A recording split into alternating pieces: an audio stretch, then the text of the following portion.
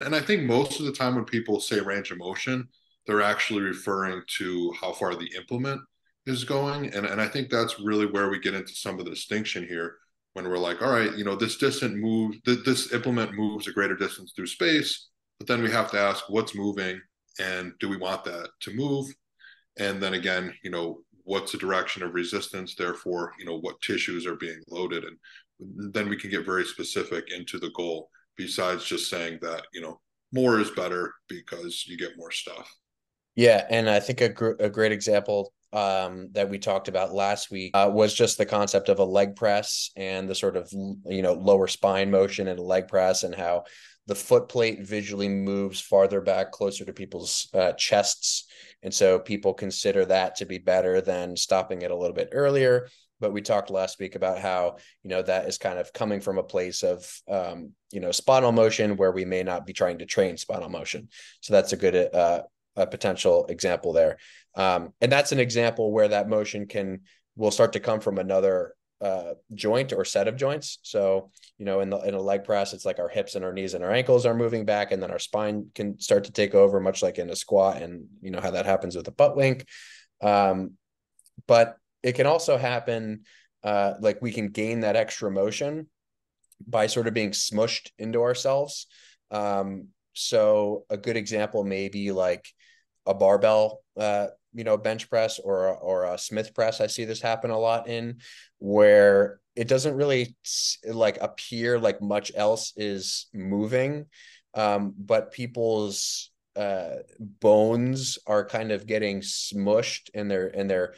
uh, we'll call it passive tissues, you know, connective tissues that are not bone uh, are being sort of stretched to a greater degree to be pushed, you know, to push someone into a position, uh, you know, i.e., the bar closer to their chest when maybe actively they wouldn't be able to lower that that amount. And um, you know, I think that has a lot more to do with just losing what I think of as control uh, over the load. You know, so in in one instance, I think that more range can come through still controlled motion, but just controlled motion where you don't want it necessarily. So, you know, lumbar flexion in the case of a leg press. Um, but it can also come through motion at the same joint, but motion that's not under the sort of active category is kind of how I like to think of it. Um, because I think that, you know, when we talk about like the active and the passive elements of contraction, those are both still to me within the um, within the confines of am I controlling this motion with contraction? The whole passive range of motion thing is not something that I see as like extra beneficial. Um, a, another good example that may make sense in more people's heads is just like um, like a pendulum squat, like getting smushed into the bottom of a pendulum squat where the weight can really just um, compress everything down together uh, where you might not again be sort of actively controlling the contraction of let's say your quads in in, in that one scenario. Um, so I, I, think we have these different categories of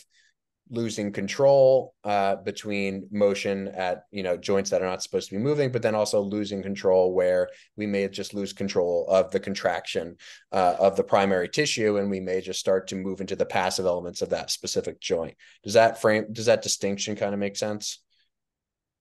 yeah, yeah, and I think you know naturally from this, you know, we start to think about well, what might the consequences be? You know, I'm thinking of examples of that leg press that I've seen, and you know, on one hand, like we talked about last week,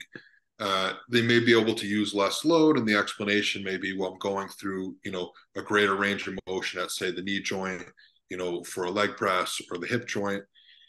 and you know maybe some of that motion you know is coming from the lumbar spine but at the same time you know we see it represented at the knee as well you know where the knee clearly is going through more motion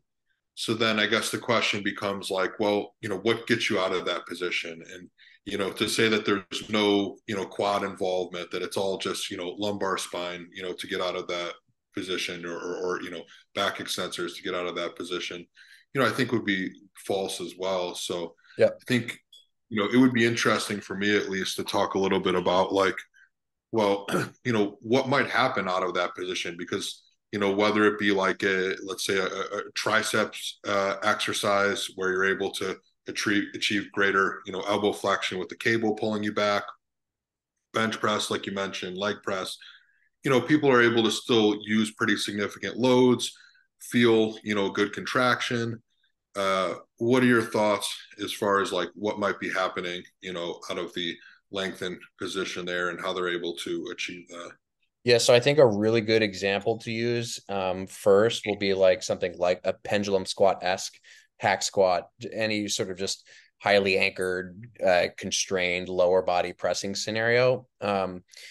because there is there is a very big uh, difference, or there can be in terms of range. So the first scenario is sort of one in which uh, the person lowers down, they get to a point where they're really actively, you know, pushing into the platform to lower themselves like they're not letting any inch of that range not be controlled and they sort of go down down down and they get to like you know most of their knee motion um basically to the point where you know their calves are sort of starting to smush against their hamstrings toward the bottom and there's a moment at which you could choose to continue to push into the platform actively to control the motion uh, or you could choose to sort of let go of that a little bit and almost sort of relax into the bottom. And so to me, that extra range still comes at uh, at the we'll say or under the control uh, of the quads right? Because you are still uh, knee flexing to a greater extent and having to knee extend out of it right? So there is a technically a greater range of motion at the knee. But to me the, the the way i sort of like to think about it is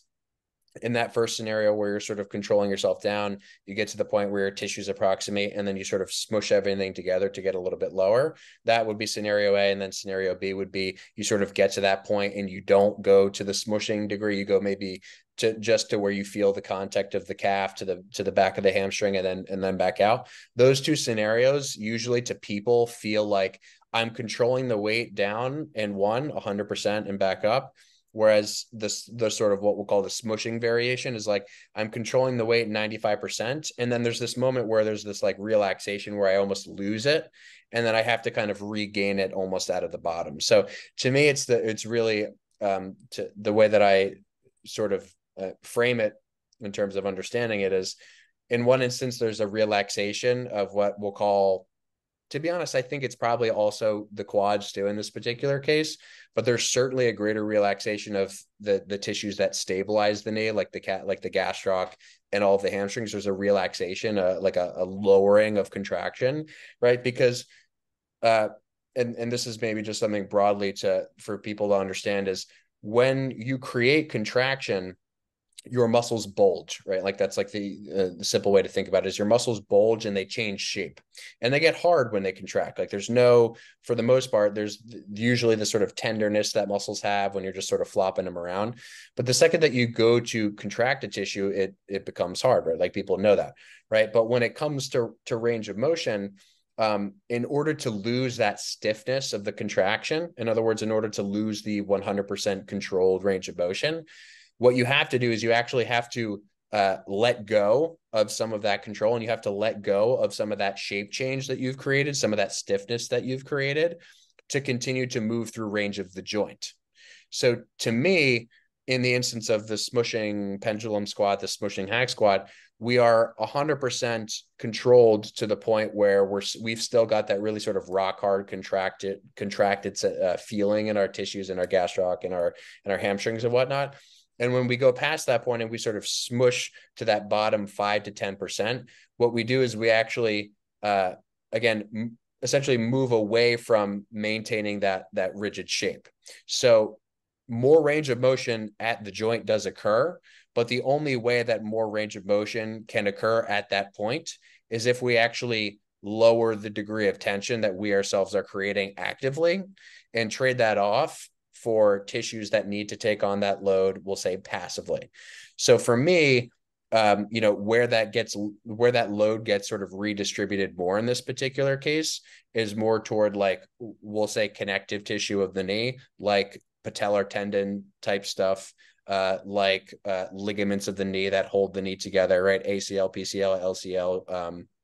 all those guys, the meniscus, right? All those sorts of soft tissue structures that actually control motion. And in addition, you have fluid shifts within the joint that occur to actually allow bones to move further. So bones can be moving further and more closely approximating, in this case, a more knee flexed, knee bent position. Um, but what is controlling that motion? in my uh, you know uh, under my current paradigm is not sort of uh, the things that we want or aren't the things that we want to be controlling that motion. So a similar example would be, uh, you know, like a triceps extension you mentioned as another example, where we can kind of get to a point where we're really sort of maintaining a good amount of tension on the triceps, but we can also sort of smush our forearm uh, past that point almost to a point where we get our elbow flexors, like our biceps, to kind of relax so that we can smush our elbow a little bit closer together. And so in that in that particular case, it's like uh, beyond a certain point, the um, the active elements of contraction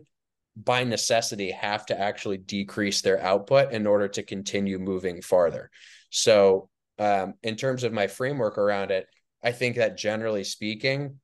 people can be in a place where they may not again feel these sorts of uh, consequences acutely. It may be something that is sort of like this uh, slower burn scenario. I just over time have leaned more in the direction of if I cut five degrees, you know, imagine it wasn't bad at all. You know, imagine it, imagine it like it eventually it wouldn't create any sort of downstream negative consequence for my for my my joint health. Um, I just don't really think that that kind of trade off to me um, is the kind of trade off that will make a difference in the outcome that we want to see. Um, such that it would be worth taking that potential risk.